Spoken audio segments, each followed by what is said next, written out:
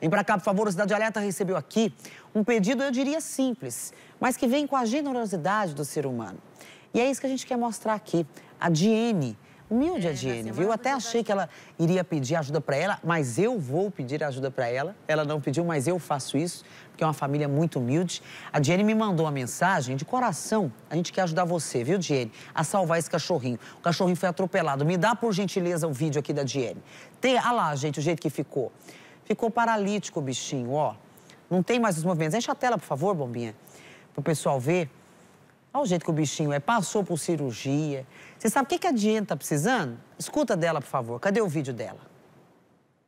Eu gostaria de pedir a ajuda de vocês para o tratamento desse cachorrinho. É, com o transporte dele, que ficou 50 reais cada sessão, e serão no mínimo cinco sessões é, de fisioterapia que ele vai estar tá fazendo para ver se volta a andar. É, também, se alguém puder estar tá ajudando com, com alimentação, com ração para ele, é, eu ficaria muito agradecida, porque eu já tenho três cachorros, com ele está fazendo quatro. ele é resgatado.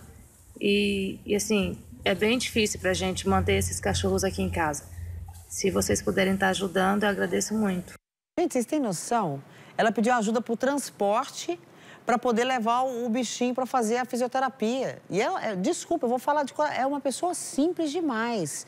Né? Então, quem quiser também, de toda forma, dar uma força aí para Diene, para ela, para os filhos dela e para os animaizinhos que ela cria, manda mensagem agora, ó, 9297-3202. Eu até falei, Diene, tu deixa o telefone carregado, minha filha, porque o povo vai chamar você, vai conversar com você, aí ela vai passar a continha, né, para vocês poderem dar essa força para ela. Ah lá, a bichinha resgata toda humilde, não tem nem espaço mais, vai estar tá resgatando os bichinhos de rua, não aguenta ver. Valeu, Diene, valeu pela sua participação.